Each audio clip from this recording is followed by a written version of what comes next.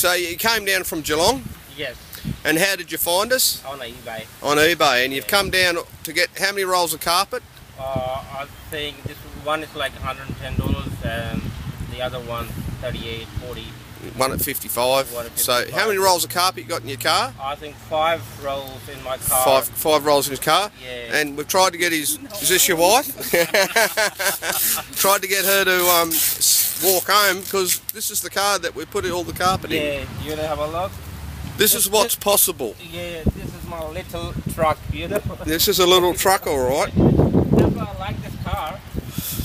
It's got two room, two full rooms, which are four meters by 3.66, Yeah, and three rolls at 1.8 by four meters, basically. And he's fitted all in. He's got to go to Geelong from Bayswater.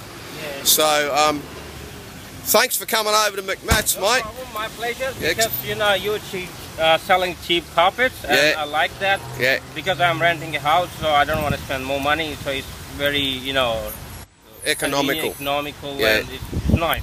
Oh, thanks. Tell all your friends. And uh, most of the things you are very friendly Yeah, and talkative, helping. You Yeah, know, talkative. I like that. who me talk. Yeah, man. Married bloody magpie.